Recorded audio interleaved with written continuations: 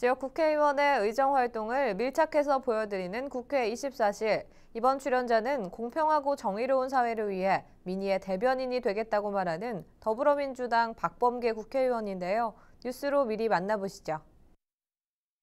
네, 반갑습니다. 두 번의 낙선, 8년간의 노력 끝에 국회의원이 됐다는 박범계 의원.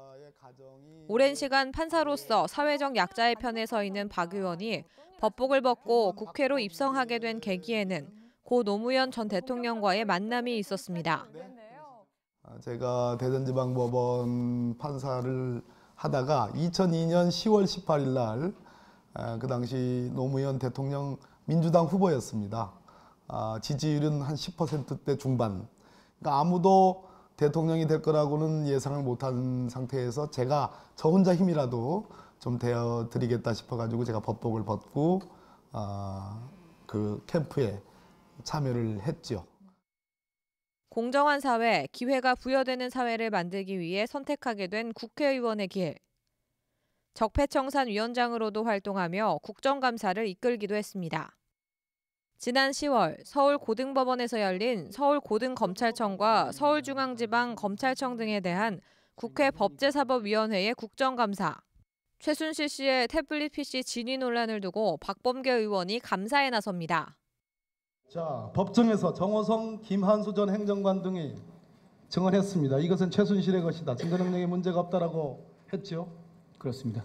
이 내용들은 소위 신혜원 씨가 얘기하는 대선 기간 중의 것들이 아니고 말 그대로 박근혜 최순실 간의 국가 기밀을 다룬 내용들입니다. 맞죠? 그렇게 보고 있습니다. 이어지는 대법원과 법원 행정처 등에 대한 국정감사. 이 자리에서도 제2롯데월드 승인에 관한 박 의원의 날카로운 질문들이 이어집니다.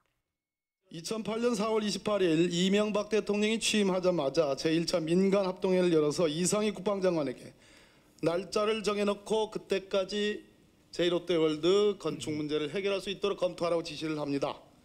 자, 건축의 승인은 건축 신청과 승인, 인허가라는 쌍방적 행정행위입니다. 신청 없으면 승인이라는 절차가 있을 수가 없는 겁니다.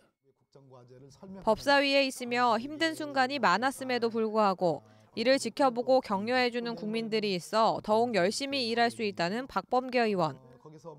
최근에는 대전, 광주, 서울 등 전국 각지를 돌며 권력기관 개혁과 지방분권, 적폐청산에 관한 정치 강연도 하고 있습니다.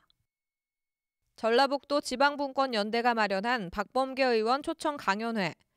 이 자리에서 박 의원은 국정자문기획위원회 부위원장으로서 촛불 민주주의와 문재인 정부의 국정과제에 대해 열띤 강연을 펼쳤습니다.